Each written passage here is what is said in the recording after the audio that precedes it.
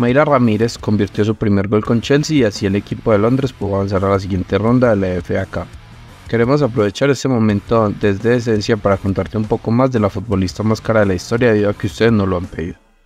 Mayra nace en Ciudad T, Colombia, un marzo 25 de 1999. Actualmente tiene 24 años.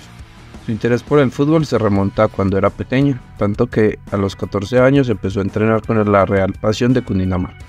Pasados los años y la edad, de 17 a su debut a nivel profesional, más específicamente en Fortaleza en la liga. Después pasa a Independiente Medellín, donde sus buenas actuaciones la hacen emigrar al fútbol español, donde juega en Sporting y en Levante. En este llegó a su mejor momento y por lo tanto Chelsea se fija en ella y la convierte en el fichaje más caro de la historia. También ha participado en la selección Colombia, donde pudo participar en la Copa América 2022 y en el Mundial de Mayores del año pasado.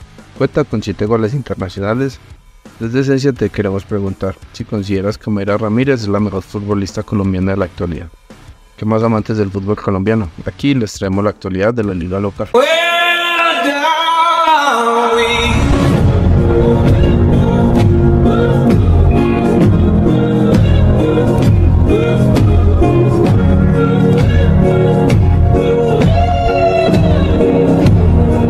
Primer turno se juega en el partido de Fortaleza contra Junior. El equipo de Barranquilla quiere seguir manteniendo el liderazgo del torneo, pero ha viajado con Dinamarca sin Mele, Vaca, Rafa Pérez.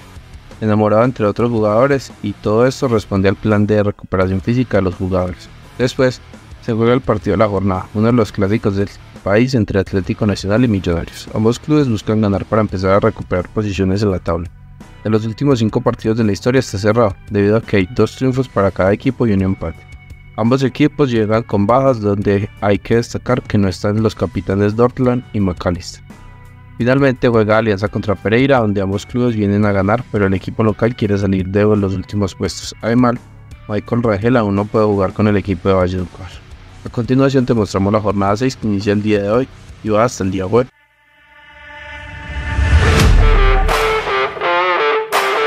El jugador Cepelini Atlético Nacional ingresa a la convocatoria, lo cual podría significar su debut en el presente torneo. Usará el número 10. Continuamos en noticias del conjunto verde. En esta imagen puede ver los jugadores que están de baja y el tiempo de incapacidad, donde hay que resaltar que Andrés Roman sigue con problemas y no jugará en el primer semestre. Desde Fortaleza, actualizaron el estado del capitán Daniel Rivera, quien sufrió un fuerte golpe en la cara en el partido pasado. Jugador tendrá que ser sometido a cirugía. Esperamos que tenga una pronta recuperación.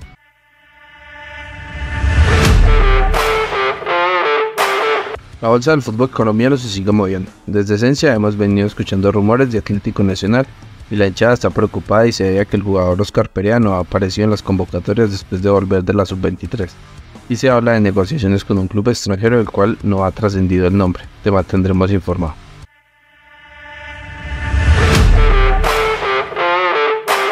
El día de hoy jugó Borja en el Real Plate. El goleador sigue en racha anotando gol más. Síguenos para que no te pierdas las últimas noticias del fútbol colombiano. El actual director técnico de Atalanta se refirió con estas palabras acerca de Luis Muriel. En Atalanta el recuerdo de Muriel está y estará siempre por siempre. Punto. Lo cual nos alegra porque el jugador dejó el nombre del país en alto. ¿Qué te pareció la carrera de Muriel en Europa? Te leemos en la sección de comentarios. Te invitamos también que le des like al video para que nos ayudes a llegar más personas y que te suscribas al canal para que así te informes de manera rápida sobre el fútbol profesional colombiano.